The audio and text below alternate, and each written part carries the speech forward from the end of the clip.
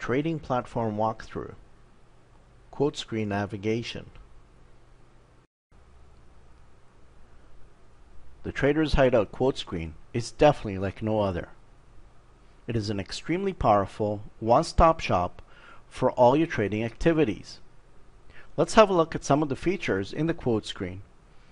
We do encourage you to have a look at the other videos where each one of the features is discussed in more details and we take a look at how they work and how you can benefit by using them for your trading.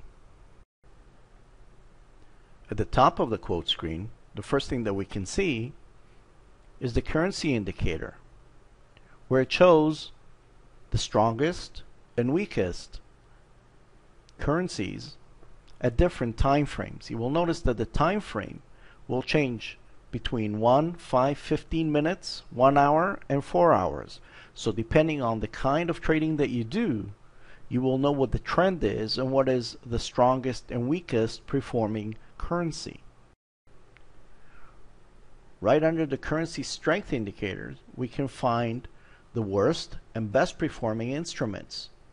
Now do remember, the calculations for the worst and best are done by the Traders Hideout servers automatically for you. However, you will only see listed the instruments that you have in your quote screen. So, to manage what instruments are listed or the order they're listed in, simply click on the symbols catalog and you can manage that. As we've said at the beginning of this video, the quote screen of the Traders Hideout platform is completely different from anything else.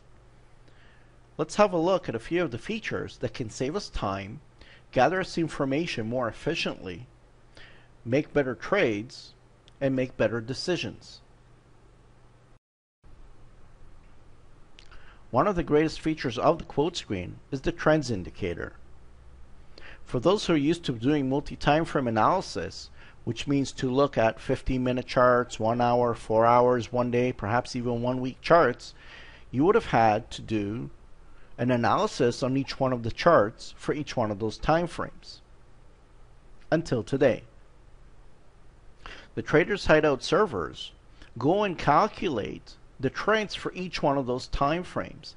As you can see here, the dollar yen is lined up where all the major time frames are on an uptrend.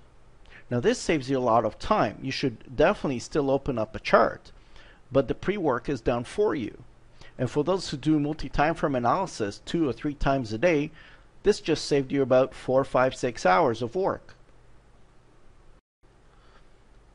Another very powerful feature on the quote screen is the ticks and speed with the volatility indicators. If you're a scalper, you can time your entry and your exits based on the speed ticks and the volatility indicator. Now, the volatility means how volatile the changes are. And these ticks are the last 10 tick changes.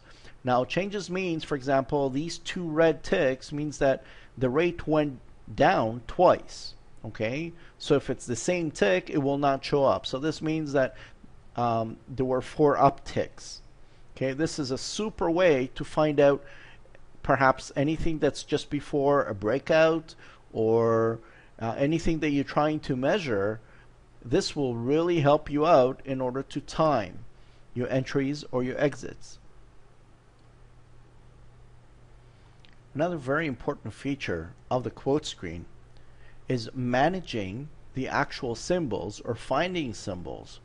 For example, if right now the dollar was gaining strength and I want to find out all the pairs that I can trade on the dollar, I simply go to the top search box and I type USD or any partial, any portion of that. And it will automatically bring all the pairs that have to do with the USD. So I can find out any trends that I want to take a look at. Okay, and I'm noticing something with the yen or the SEC. So, for example, I want to take a look at all the yens. So I simply go here, I change it to JPY, and it will bring up all the JPYs. And I can see that the yen is actually losing ground as the yen is the secondary part of the instrument, you can see that it is being beaten up on uh, the one minute, five minute, 15 minutes, and, and one hour charts, uh, you'll be able to see uh, an uptrend of anything that's against the yen. So the yen is losing ground. Now, this is a super way to find out where a currency is going. You can use the trend indicator and you can find out where it's heading or where it was heading is more like it.